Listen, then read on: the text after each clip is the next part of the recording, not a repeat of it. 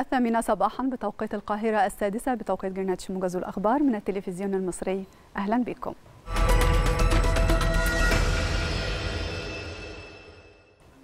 أكد الرئيس عبد الفتاح السيسي أن الدولة المصرية أدارت الموقف بشأن التصعيد في قطاع غزة بمزيج من الحسم في القرار والمرونة في التحرك والدقة في المتابعة.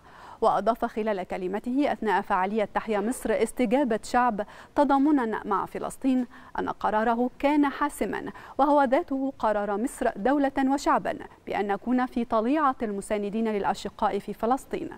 وأكد الرئيس السيسي أن مصر لم تغلق معبر رفح أبدا ولكن هناك الكثير من المغالطات مشددا على أنه لن يغلق المعبر أبدا في وجه المساعدات التي تدخل إلى قطاع غزة. كما جدد التأكيد على الموقف المصري الرافض والحاسم لمخططات تهجير أشقائنا الفلسطينيين قسريا سواء من قطاع غزة أو الضفة الغربية إلى مصر والأردن وذلك حفاظا على على عدم تصفية القضية.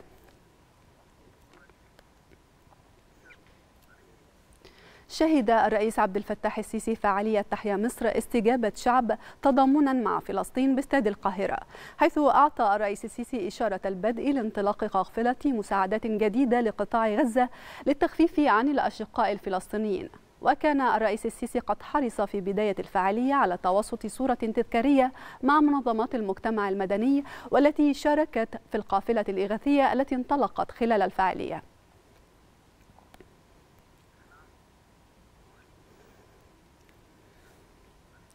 بدأ في السابعة من صباح اليوم سريان الهدنة في قطاع غزة بين إسرائيل وحماس برعاية مصرية قطرية أمريكية.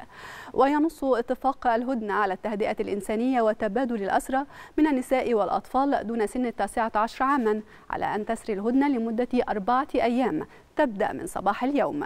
يرافقها وقف جميع الأعمال العسكرية بين الاحتلال الإسرائيلي والمقاومة الفلسطينية. كما يتضمن الاتفاق توقف الطيران الإسرائيلي عن التحليق بشكل كامل في جنوب قطاع غزة ولمدة ست ساعات. يبدأ من صباح اليوم من صباح العاشرة صباحا وحتى الرابعة مساء في مدينة غزة والشمال. وأن يتم الإفراج عن ثلاثة أسرى فلسطينيين من النساء والأطفال مقابل كل أسير إسرائيلي واحد. على أن يتم خلال الأيام الأربعة الإفراج عن خمسين محتجزا إسرائيليا من النساء والأطفال دون التاسعة عشر عاما. ويتم يوميا إدخال 200 شاحنة من المواد الإغاثية والطبية لكافة مناطق قطاع غزة. وأيضا إدخال أربع شاحنات وقود وكذلك غاز الطاهية لكافة مناطق قطاع غزة.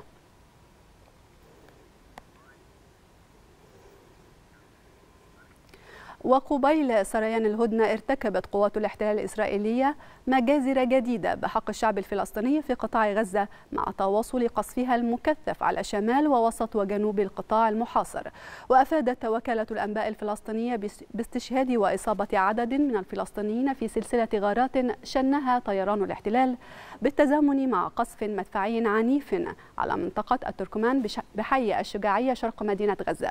كما قصف طيران الاحتلال مركبتين مدنيتين على طريق نصيرات المغارقة وسط القطاع ما أدى إلى استشهاد 11 مواطنا وتمكنت طواقم الأسعاف من انتشال ست شهداء منهم.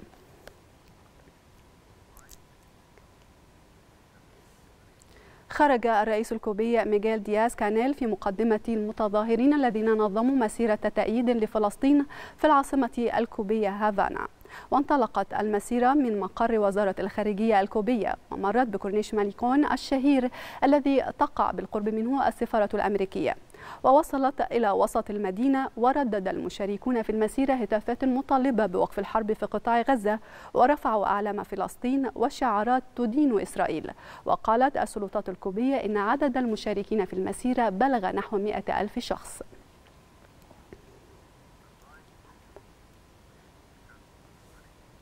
قال فيتالي باراباش رئيس الإدارة العسكرية في أفديفكا إن القوات الأوكرانية أحبطت هجمات روسية متواصلة على المدينة في شرق أوكرانيا فيما أدى قصف روسي إلى مقتل أربعة من الجبهة الجنوبية للحرب في منطقة خيرسون.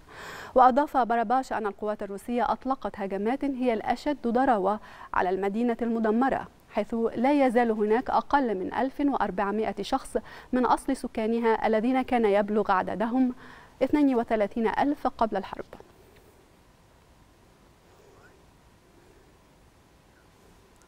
التقى وفد من تنسيقية شباب الأحزاب والسياسيين على مدار أيام متتالية بحزب إرادة جيل وحزب التجمع وحزب العدل. جاء ذلك ضمن اللقاءات التي تعقدها التنسيقية للاستماع لتطلعات الهيئات والنقابات والأحزاب حول برنامج عمل الرئيس القادم وترجمة وصياغة هذه التطلعات في برنامج انتخابي تستهدف طرحه بين يدي مرشحي الانتخابات الرئاسية. وركزت اللقاءات على دعوة الأحزاب للمشاركة الإيجابية في الاستحقاقات الانتخابية بجانب ما تم من اشتباك مع التحديات التي تواجه أصحاب المصالح التابعين لهذه الجهات في مختلف القضايا الاجتماعية والاقتصادية والسياسية.